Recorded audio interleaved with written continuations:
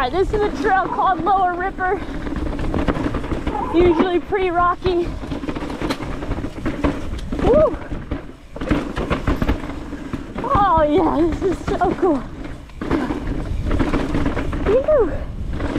So sick.